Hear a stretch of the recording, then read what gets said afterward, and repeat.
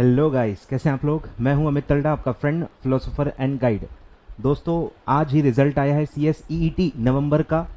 और अब आपके मन में सवाल आए होंगे, जो भी बच्चे पास हुए हैं congratulation to all of you और जो लोग फेल हुए हैं I will wish them best of luck for next exam which is scheduled on ninth January ठीक है? तो ये वीडियो प्योरली जो पास्ट बच्चे उनके लिए, उनको गाइड करने के लिए है कि अब उनको एग्जीक्यूटिव में क्या करना है, उनको कौन सा एग्ज़ाम मिलेगा रजिस्ट्रेशन कब करना है प्री एग्ज़ाम का जो कंसेप्ट है, वो क्या है, अब तरह तरह की बातें आपने सुनी होंगी या अब आप सुनोगे तो मैं एक ही वीडियो में आपको पूरी बातें बताऊँगा ताकि आपको ज़्यादा इधर उधर ज़्यादा वीडियोस ना देखनी पड़े। एक ही वीडियो में सारी बातें मैं आपको बताने वाला हूँ, ठीक है?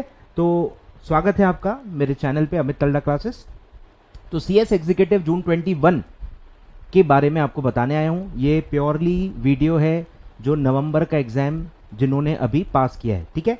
चलिए स्टार्ट करते हैं। तो इस वीडियो में मैं आपको ये सारी बातें बताऊँगा। रजिस्ट्रेशन सब्जेक्ट्स क्या है ओरिएंटेशन प्रोग्राम भी एप्लीकेबल है आपको। वो क्या क्या होता है, कैसे होता है? प्री एग्ज़ाम्स के बारे में बताऊँगा जो अभी तक आपको नहीं थी, पर अब आपको एप्लीकेबल है। रिविजन कितनी करनी होती है एग्ज़ाम फॉर्म कब भरना होता है राइटिंग प्रैक्टिस कब करनी होती है एडमिट कार्ड्स कब आते हैं एग्ज़ाम के, हर चीज़ जून ट्वेंटी के बारे में इसको आपको इसमें बताऊँगा। चलिए सर सबसे पहले है कि एग्जीक्यूटिव में दो मॉड्यूल्स हैं मतलब दो ग्रुप्स हैं। ठीक है? मॉड्यूल वन मॉड्यूल टू दोनों में चार चार सब्जेक्ट्स हैं टोटल आठ सब्जेक्ट्स हैं, आठ में से तीन सब्जेक्ट तीन सब्जेक्ट आपके एमसीक्यू हैं, लेकिन with negative marking ETB MCQ थी, लेकिन उसमें नेगेटिव मार्किंग नहीं थी, पर अब आपको निगेटिव मार्किंग भी रहेगी 0.25 मतलब एक मार्क एक क्वेश्चन अगर आप रॉन्ग कर देते हो तो एक मार्क तो जाता ही है। Extra over and above extra 0.25 marks भी आपके डिडक्ट होंगे, ठीक है? तो उसको कहते हैं नेगेटिव मार्किंग तो आठ में से तीन सब्जेक्ट आपके एमसीक्यू हैं. फ़र्स्ट इज़ टैक्स लॉस जो फ़र्स्ट मॉड्यूल में आता है, और दो एमसीक्यू पेपर आपके सेकंड मॉड्यूल में आते हैं that is corporate and management accounting and financial and strategic management ठीक है? तो ऐसे तीन सब्जेक्ट्स आपके एमसीक्यू हैं, ठीक है? और बाकी जो पाँच है, वो पूरे के पूरे रिटर्न पेपर्स हैं डिस्क्रिप्टिव हैं. तो यही सबसे बड़ा चैलेंज है जो आप फेस करोगे एग्जीक्यूटिव में कि अब आपको सर लिखना पड़ेगा। ईटी में तो चल गया। ईटी में तो चल गया। बिना लिखे काम जम गया। हैंडराइटिंग का कोई फ़र्क नहीं पड़ा। स्पीड का कोई फ़र्क नहीं पड़ा। प्रेजेंटेशन का कोई फ़र्क नहीं पड़ा। पर अब वो फ़र्क पड़ेगा। और आपको एक्स्ट्रा एफर्ट लगाने पड़ेंगे। उन लोगों को खासकर लगाना पड़ेगा जिनकी हैंडराइटिंग अच्छी नहीं है, जिनकी स्पीड बहुत कम है लिखने की। उनको इस बातों पे ध्यान देना है, नहीं तो क्या होगा? सीधे आखिरी दो महीने में पूरा प्रेशर आप पे बन जाएगा और जो चीज़ें सुधर सकती हैं, जिसके लिए अच्छा खासा आपके पास टाइम है, वो आप इग्नोर कर जाओगे। तो जिनकी हैंडराइटिंग स्लो है, जिनकी हैंडराइटिंग खराब है, उनको मैं क्लियरली बता रहा हूँ कि आपको बॉदर करेगा लास्ट टू मंथ्स में। तो आज से अगर आप काम करते हैं तो माइट भी आप इम्प्रोवाइज कर लो, ठीक है? तो सब्जेक्ट्स के नाम आपके स्क्रीन पे दिख रहे हैं। पाँच रिटर्न है, तीन एमसीक्यू है, ठीक है? आगे बढ़ते हैं। फिर है पासिंग क्राइटेरिया क्या है? ठीक है, ड्योल पासिंग क्राइटेरिया होता है। इंडिविजुअल भी पास करना है, इंडिविजुअल एक एक सब्जेक्ट भी आपको पास करना है by scoring 40 marks out of 100 marks in each subject और ग्रुप पासिंग भी है मॉड्यूल पासिंग कि एग्रीगेट मॉड्यूल में भी आपको एग्रीगेट चारों सब्जेक्ट मिला के 50 परसेंटेज मार्किंग चाहिए। चार पेपर है 100 100 मार्क के 400 मार्क का आपका ग्रुप है 400 में से 50 परसेंटेज दैट कम्स 200 मार्क्स तो 200 मार्क्स आपको हर मॉड्यूल में लेना होगा। मतलब आपको सब्जेक्ट भी पास करना है, आपको मॉड्यूल भी पास करना है। अगर आप एक सब्जेक्ट में फेल होते हो तो भी मॉड्यूल फेल हो जाओगे। अगर आप एग्रीगेट नहीं निकाल पाए तो भी ग्रुप में फेल हो जाओगे और आपको पूरा ग्रुप फिर से देना पड़ेगा। आ रहा है ख्याल में? इसमें एग्जामेशन के क्राइटेरियाज होते हैं कि इंडिविजुअल सब्जेक्ट एग्ज़ाम होता है, उसके बहुत पूरा वीडियो है मेरा, वो आप डिटेल में देख सकते हो। एक जनरल जनरल वाला बता रहा हूँ। एक्चुअली दो रूल होते हैं। दूसरा रूल बहुत डिटेल में मतलब बताना पड़ता है। इतने शॉर्ट में आपको नहीं समझ में आएगा। जनरलाइज कर रहा हूँ मैं। बहुत सारे डिटेल क्राइटेरियाज हैं। पूरा वीडियो मेरा मेरे चैनल पे अवेलेबल है। आप देख सकते हो कि एग्जामेशन क्राइटेरियाज क्या होते हैं। एक पहला जो क्राइटेरिया है, जो बहुत फ़ेमस क्राइटेरिया है, जो सबको पता होता है, वो मैं आपको बता रहा हूँ कि अगर आपको एक सिंगल सब्जेक्ट में 60 मार्क्स हैं सिंगल सब्जेक्ट में 60 मार्क्स हैं और उस ग्रुप के रिमेनिंग पेपर्स में कम से कम सब में 25 मार्क्स ईच हैं। तो फिर वो जिसमें 60 है आपको, वो सब्जेक्ट एग्ज़ाम हो जाएगा। मतलब आपको फिर से नहीं देना है। भले आपका ग्रुप फेल हो गया होगा, लेकिन वो सब्जेक्ट एग्ज़ाम हो जाएगा और वो फिर आपको नहीं देना पड़ेगा। तो 60 मार्क्स का क्राइटेरिया आप याद रखो कि अगर 60 के ऊपर है और रिमेनिंग सब्जेक्ट्स में हर एक सब्जेक्ट में 25 है तो वो सब्जेक्ट आपका एग्ज़ाम हो जाता है। ठीक है? तो ऐसा पूरा है। आठ सब्जेक्ट हैं ग्रुप वाइज आपको पास करना है। बोध ग्रुप अगर आप दे रहे हो तो 800 में से आपको दोनों मिला के चार सौ मार्क्स चाहिए, ठीक है? सेट ऑफ़ का भी बेनिफिट होता है। एक आध ग्रुप में आपको थोड़े मार्क्स कम है 200 नहीं है 195 है। और दूसरे में वो पाँच मार्क एक्स्ट्रा है 205 है। तो अगर 195 प्लस 205 हो जाता है तो आपको वे सेट ऑफ़ पाँच मार्क का मिल जाएगा और टोटल 400 काउंट होगा और आप दोनों ग्रुप पास माने जाओगे। इवन इफ़ एक ग्रुप में आपको 195 थे, आप फेल थे बट दूसरे ग्रुप का एक्सेस जो है, वो आप as a set off use कर सकते हो। ठीक है? सेट ऑफ़ का बेनिफिट अवेलेबल होता है बोथ ग्रुप्स में। तो ये सब है। ड्योल पासिंग आपको याद रखना है।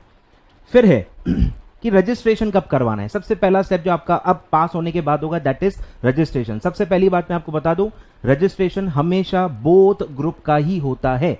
आप एग्ज़ाम एक ग्रुप दो एग्ज़ाम बोथ ग्रुप दो, कोई फ़र्क नहीं पड़ता। That is decided in the exam form जब एग्ज़ाम फॉर्म भरोगे दैट विल डिसाइड कि आप कौन सा एग्ज़ाम देने वाले हो, कौन से ग्रुप को अटेम्प्ट करने वाले हो, लेकिन रजिस्ट्रेशन में ऐसा नहीं होता है। Registration is always for both groups पूरी फ़ीस रजिस्ट्रेशन की एक साथ देनी होती है और सारे के सारे इंस्टीट्यूट के मॉड्यूल्स भी आपको एक साथ ही आते हैं। सबसे बड़ा कंफ्यूजन यही होता है बच्चों को, ठीक है? तो दोनों ग्रुप्स का एक साथ ही रजिस्ट्रेशन होता है। तो सर डेट्स क्या है? डेट है सर थर्टी नवंबर यानी कि आपके पास पाँच दिन है। जो लोग पाँच दिन में रजिस्टर करवा लेंगे, वो बोध ग्रुप देने के लिए एलिजिबल होंगे। कंपलसरी नहीं है। ये बात समझ लो। आप ईटी e से आए हो ना तो आप समझ लो कि कंपलसरी नहीं है। तीस नवंबर के पहले जो भी रजिस्टर करा रहे हैं, उनके पास ऑप्शन हो जाएगा कि वो चाहे तो बोध भी दे सकते हैं, वो चाहे तो सिंगल भी दे सकते हैं। वो एलिजिबल होंगे कि वो बोध भी दे सकते हैं और सिंगल तो दे ही सकते हैं। ठीक है? और अगर आप थर्टी नवंबर के बाद रजिस्टर करते हो और up to thirty first January register कर लेते हो, तीस नवंबर के बाद और इकतीस जनवरी के पहले, इस दौरान अगर आप रजिस्टर करते हो तो आप बोध ग्रुप के लिए एलिजिबल नहीं हो, आपको कंपलसरीली कोई भी एक ग्रुप मतलब देना होगा। एक ही ग्रुप देने के लिए आप एलिजिबल होंगे, कोई भी एक ग्रुप दे सकते हो, ज़रूरी नहीं है कि आपको पहला ही ग्रुप पहले देना है सेकेंड ग्रुप भी आप पहले दे सकते हो और आपको इस वीडियो में गाइड करूँगा कि अगर आप सिंगल मॉड्यूल टारगेट कर रहे हो तो कौन सा मॉड्यूल आपके लिए बेटर होगा, क्यों होगा, वो सब भी मैं आपको आखिरी में बताऊँगा। ठीक है? तो एलिजिबिलिटी क्राइटेरिया है कंपल्शन नहीं है। अगर आप बोथ के लिए एलिजिबल हो, आप सिंगल मॉड्यूल के लिए भी अपियर हो सकते हो। ठीक है? क्लियर रखो। तो ये आपके डेट्स हो गए। फिर है सर रजिस्ट्रेशन फ़ीस कितनी है? वो है बोथ मॉड्यूल की एक साथ ही होती है, मैंने आपको बता दिया। टेन थाउज़ेंड वन हंड्रेड आपको कंपल्सरीली मिनिमम चार्ज भरना है, जिसका ब्रेकअप मैंने दिया हुआ है registration fee education fee pre exam fee भी इसमें इंक्लूडेड है, अलग से आपको नहीं भरनी है, और वन डे ओरिएंटेशन प्रोग्राम जो होता है, उसके भी सिक्स हंड्रेड इसमें इंक्लूडेड है तो आपको अलग से इसके अलावा सिर्फ़ आपको एग्ज़ाम की जो फ़ी होती है एग्ज़ाम फॉर्म की फ़ी होती है, वो बस अलग से भरनी होती है, बाकी सब इसमें इंक्लूडेड है। इंस्टीट्यूट के मॉड्यूल भी इसमें इंक्लूडेड है, आपको घर पे आपके आ जाते हैं, एक आध डेढ़ महीना लग जाता है बट आपको घर पे डायरेक्टली आपके एड्रेस पे आ जाते हैं, जो रजिस्ट्रेशन के दौरान आप भरते हो। ठीक है? तो ये है आपका फ़ीस दस हज़ार एक सौ आपको टोटल भरना है, उसमें ये सब इंक्लूडेड है। इसी के अंदर आपका मॉड्यूल भी आ जाएगा, सिर्फ़ इसके अलावा आपको एग्ज़ाम फॉर्म की फ़ीस भरनी है। ठीक है? चलिए, आगे। फिर एग्ज़ाम फॉर्म ठीक है? जून 21 का एग्ज़ाम दोगे तो एग्ज़ाम फॉर्म स्टार्ट होते हैं 26 फरवरी से। 26 फरवरी से फॉर्म स्टार्ट होते हैं। विदाउट लेट फ़ी आप 25 मार्च तक भर सकते हो। पूरा एक महीने का विंडो होता है। एक महीना आपको मिलता है। आप एग्ज़ाम फॉर्म भर सकते हो। इसमें आप डिसाइड कर सकते हो कि आपको कौन सा मॉड्यूल अपियर करना है बोथ अपियर करना है सिंगल करना है सिंगल में भी कौन सा करना है। जो भी एग्ज़ाम के बारे में चीज़ें हैं, वो इस फॉर्म में होती है। ठीक है? तो एक महीना आपको मिलता है विदाउट लेट फ़ी फिर अगर आपकी 25 मार्च पच्चीस मार्च की डेट निकल गई तो भी आप लेट फ़ी भर के नाइन्थ अप्रैल तक फॉर्म सबमिट कर सकते हो। फ़ीस है सर सिंगल मॉड्यूल बारह सौ रुपए और बोथ मॉड्यूल का है चौबीस सौ रुपए। और अगर आप लेट फ़ी लेट भर रहे हो तो टू फिफ्टी रुपीज़ का लेट फ़ी भी एडिशनली आपको भरना पड़ेगा over the above the exam fee ठीक है? तो यह हो गया एग्ज़ाम फ़ी और डेट्स आप देख ही रहे हो, बहुत टाइम है। तो अभी एग्ज़ाम फॉर्म की टेंशन मत लेना।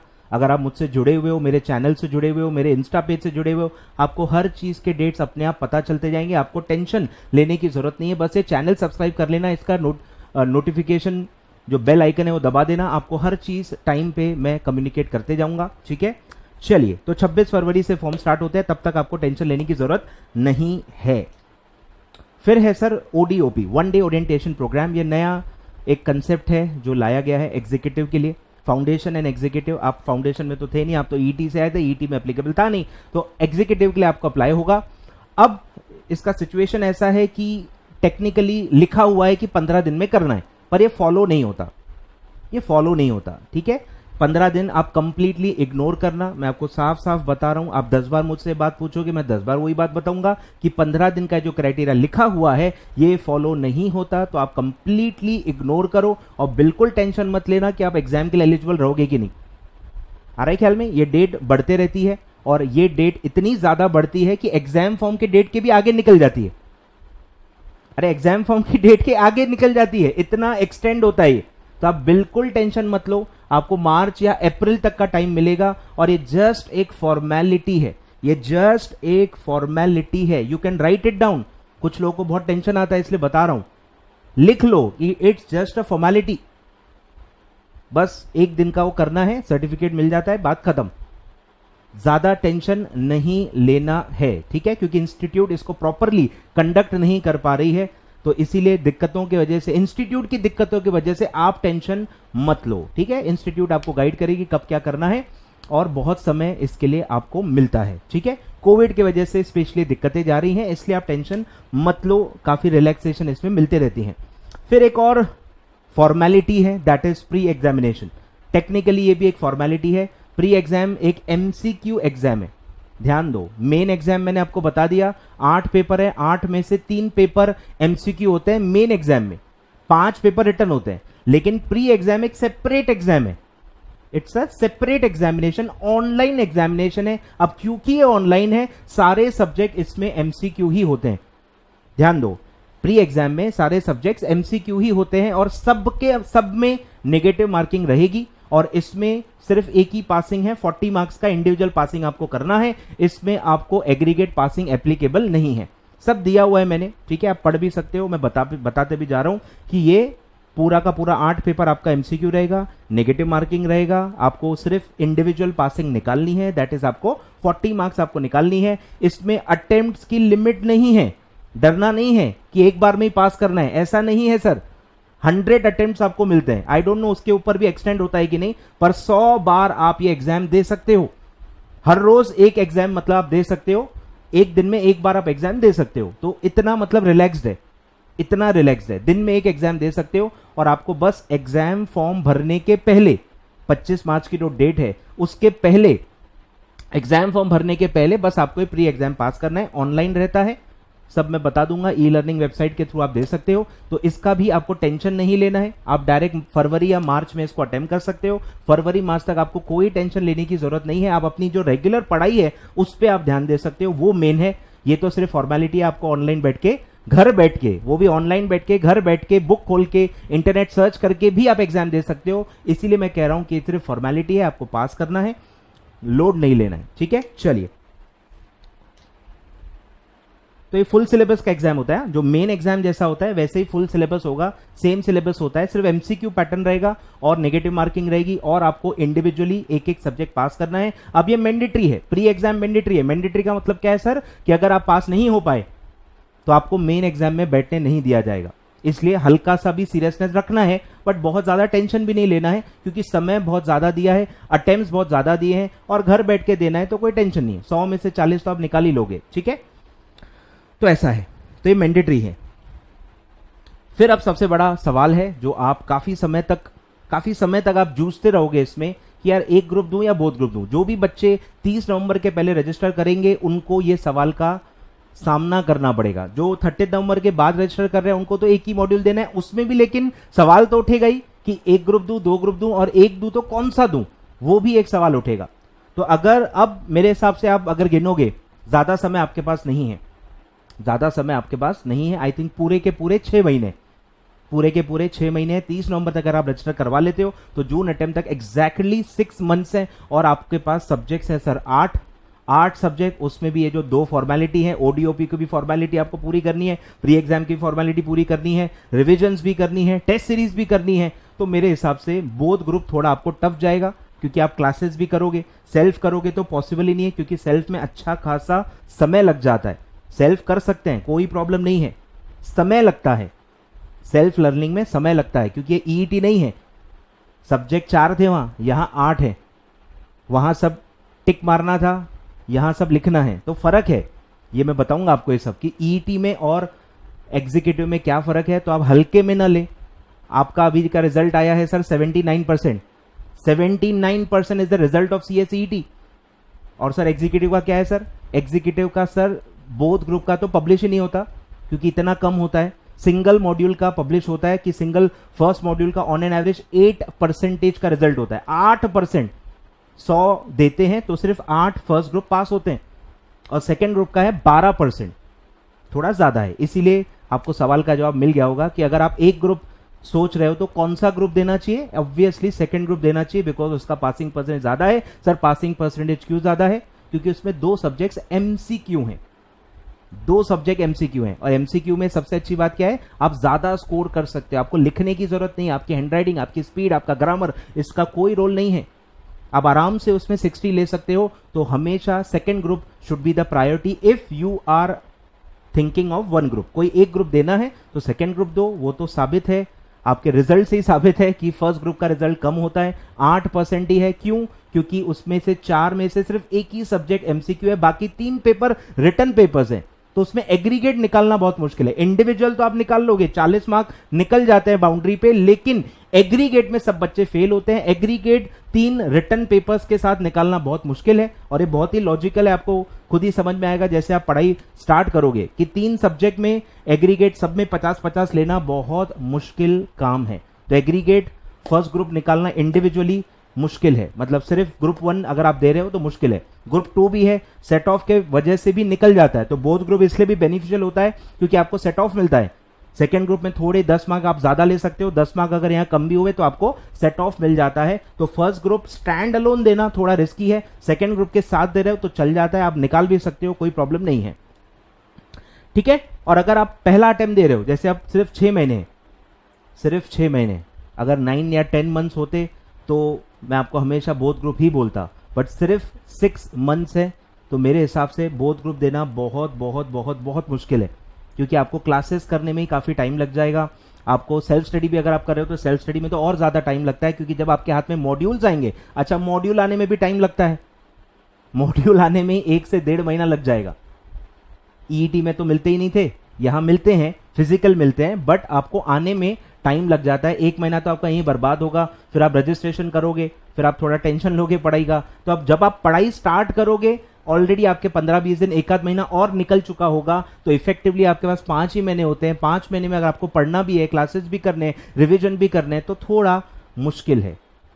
इसलिए बेटर है go for one group single group और better go for second group because obviously result is more and two papers are MCQ तो आपको थोड़ा सपोर्ट मिलता है। एग्रीगेट में एटलीस्ट आपको टेंशन नहीं होगी। ठीक है सर आगे। तो वन ग्रुप बोथ ग्रुप ये हो गया। फिर सर एडमिट कार्ड्स भी आते हैं। जैसे आपका ईटी e का आया था तो ये भी एकदम आखिरी दस दिन में आता है। मतलब अगर एक जून से एग्ज़ाम है तो बीस या इक्कीस मई को आपका एडमिट कार्ड आता है। ठीक है? फिर है कुछ फैक्ट जो मैं आपको बता रहा हूँ, जो आपको धीरे धीरे पता चलेगा। कोई खुद होके बताएगा नहीं। खुद होके कोई नहीं बताएगा। मैं आपको बता रहा हूँ। ठीक है? कि एग्जीक्यूटिव ईटी के मुकाबले दस गुना ज़्यादा टफ है। ठीक है? क्यों सर पहला मैंने आपको ऑलरेडी बता दिया सब्जेक्ट्स डबल हैं। वहाँ आपको चार सब्जेक्ट्स है तो यहाँ आपको आठ सब्जेक्ट है। वहाँ आपका एक सब्जेक्ट 400 पेज का है तो यहाँ 800 पेज का है। मतलब जो कंटेंट का जो डेप्थ है, वो डबल है। तो सब्जेक्ट्स भी डबल है कंटेंट भी डबल है एमसीक्यू के जगह रिटर्न पेपर है ग्रुप पासिंग भी है टाइम भी कम है। ठीक है? समझ में आ रहा है? तो ये अगर आप क्यूमुलेटिव करो ऊपर से पासिंग रिज़ल्ट 10 परसेंट एवरेज है। वहाँ 80 परसेंट है, यहाँ 10 परसेंट है। आठ परस आठ गुना का फ़र्क तो यही दिख रहा है। पासिंग रिज़ल्ट में टेन एट टाइम्स का फ़र्क आपको दिख रहा है, ठीक है? तो ये चीज़ें हैं। तो आपको सीरियसनेस भी टेन टाइम ज़्यादा रखनी पड़ेगी। जिस हिसाब से आपने ईटी e प्रिपेयर किया था, उसी हिसाब से, उसी माइंडसेट से अगर आप प्रिपेयर करोगे तो आपका कोई चांस नहीं है यहाँ पे। आपको स्टार्टिंग से लेकर एंड तक पढ़ना पड़ेगा। On an average eight to ten hours आपको पढ़ना पड़ेगा। तब जाके आप सेफली पास हो पाओगे, ठीक है? तो पास होने में भी बहुत मतलब मेहनत है, ठीक है? सिर्फ़ पास होने में ही मेहनत है, रैंक में तो अलग ही लेवल की मेहनत है, ठीक है? फिर है आपको कम से कम दो बार रिवाइज करना है, कम से कम दो बार रिवाइज करोगे तभी चीज़ें याद आती हैं। अब ईटी e में तो आपका एक्सपीरियंस आ ही गया होगा, कि इतना सारा कंटेंट है, रिवाइज ही नहीं करोगे तो क्या याद आएगा? सोच के देखो आठ आठ सब्जेक्ट अगर है या चार सब्जेक्ट है फॉर दैट मैटर चार सब्जेक्ट्स भी अगर आप रिवाइज नहीं करके गए तो आपको टाइम पे याद नहीं आएगा तो आपको दो रिवीजन का तो टाइम अलग से रखना है। दो रिवीजन का टाइम अलग से रखना है। फिर एक आध बार आप रिटर्न प्रैक्टिस करोगे, उसके लिए भी टाइम आपको अलग से रखना होगा। प्लानिंग से होता है ठीक है? फिर एक फुल सिलेबस टेस्ट भी आप दोगे, एक या दो राउंड आपको देना चाहिए। तो सब के लिए टाइम बरोबर रखते जाना है। नहीं तो पढ़ाई खत्म होती नहीं यहाँ पे, ठीक है? तो ये सब था। मैंने आपको ऑलमोस्ट सारी बातें बता दी। Registration pre exam ODOP admit cards exam form registration fee फिर आपको मैंने बहुत सारे अंदर की बातें बता दी कि टफ बहुत ज़्यादा है, फिर सिंगल ग्रुप या डबल ग्रुप सिंगल ग्रुप तो फिर कौन सा ग्रुप सब चीज़ें मैंने आपको बता दी। ये सारे सवाल आपके मन में भी आने वाले हैं। मॉड्यूल्स का भी बता दिया कि फ़ी में इंक्लूडेड है। आपको लगभग एक महीने के बाद आपको वो मिलेंगे, आपके घर पे आ जाएँगे। ओडीओपी फॉर्मेलिटी है, आपको टेंशन नहीं लेना है। तो इमीडिएटली अभी सर हमको क्या करना है? अभी आपको एक ही काम करना है रजिस्ट्रेशन तीस नवंबर के पहले रजिस्टर करा लो। और फिर आप प्लान करो कि आपको एक ग्रुप देना है, दो ग्रुप देना है, एक ग्रुप देना है तो कौन सा देना है? फिर क्लासेस ये, वो सब आप अपने हिसाब से डिसाइड कर सकते हो। और फिर डायरेक्टली आपको प्री एग्ज़ाम देना होगा लगभग फरवरी में। फरवरी में आप प्री एग्ज़ाम ओडीओपी की फॉर्मेलिटी कर लेना, मार्च में एग्ज़ाम फॉर्म भर लेना, और फिर आप रिविजन कर लेना। तो आप टारगेट रखो। टारगेट रखो कि मार्च मिड तक आपको अपनी पढ़ाई खत्म कर देनी है। फिर मार्च मिड ईयर एंड में आप वही प्री एग्ज़ाम और फॉर्म वॉर्म भर लेना। और फिर अप्रैल में, मई में रिवाइज कर लेना। ऐसा आप कर सकते हो, ठीक है, मेरे हिसाब से। Thank you so much watching the video share ज़रूर करिएगा अपने फ्रेंड्स के साथ। अगर आपको लगा कि काम की बातें मैंने आपको बताई है वीडियो को लाइक ज़रूर कर दीजिएगा ताकि मैं मोटिवेटेड रहूँ और भी इन्फॉर्मेशन आपको देते रहूँ फॉर ये exam of C S executive in June twenty one thank you so much